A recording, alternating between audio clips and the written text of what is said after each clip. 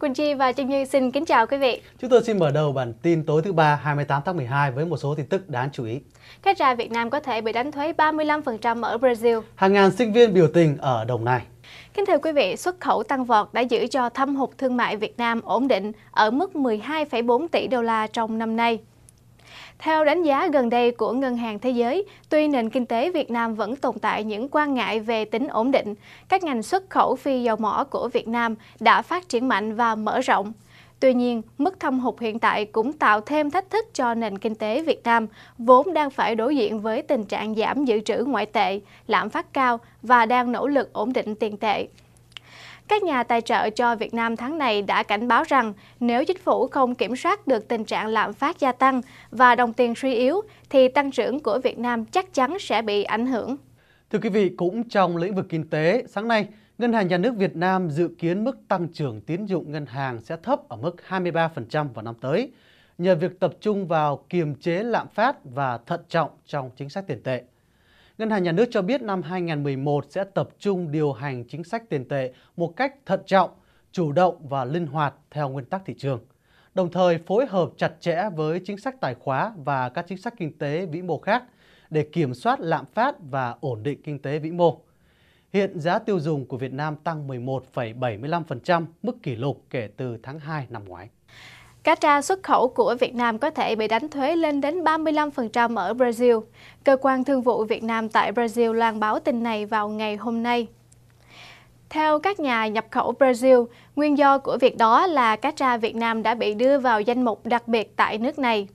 Cá tra Việt Nam đã từng bị Hiệp hội Thủy sản của tiểu bang Santa Catarina lên tiếng về vấn đề giá cả cạnh tranh, khiến cho ngành cá ở nước sở tại gặp nhiều khó khăn.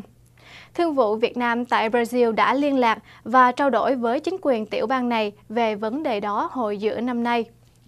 Tuy nhiên, Hội đồng nuôi trồng thủy sản và nghề cá của Brazil vẫn đưa cá tra Việt Nam vào danh sách đặc biệt và có thể bị áp thuế chống phá giá trong nay mai. Kính thưa quý vị, sáng hôm nay, hàng ngàn sinh viên tập trung biểu tình chống quy chế thi của trường Đại học Lạc Hồng, thành phố Biên Hòa, Đồng Nai. Báo điện tử Việt Nam Net đưa tin này cho biết, sinh viên tập trung trên các con đường của thành phố và yêu cầu nhà trường phải hủy bỏ quy chế tính điểm thi vừa được áp dụng vào ngày 14 tháng 12 vừa qua. Theo quy chế mới, sinh viên sẽ được tính điểm 10% cho điểm chuyên cần, 30% điểm tự học và 60% cho điểm cuối kỳ. Ngay sau khi trường Đại học Lạc Hồng đưa ra quy chế mới, nhiều sinh viên đã lên diễn đàn để phản đối quy chế này.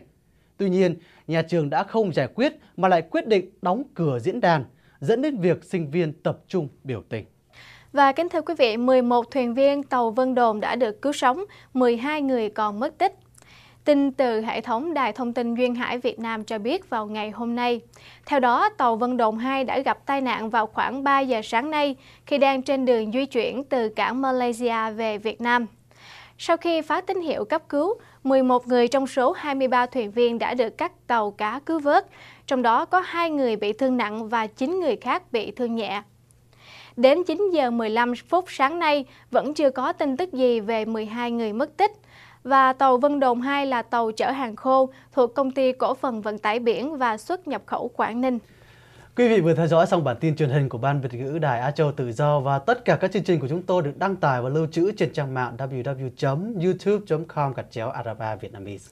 Quý vị cũng có thể xem chương trình của chúng tôi bằng điện thoại di động tại địa chỉ www.vietnamese.rfa.org. Quân Chi và Trần Như xin cảm ơn quý vị đã theo dõi và chúc quý vị một buổi tối an lành.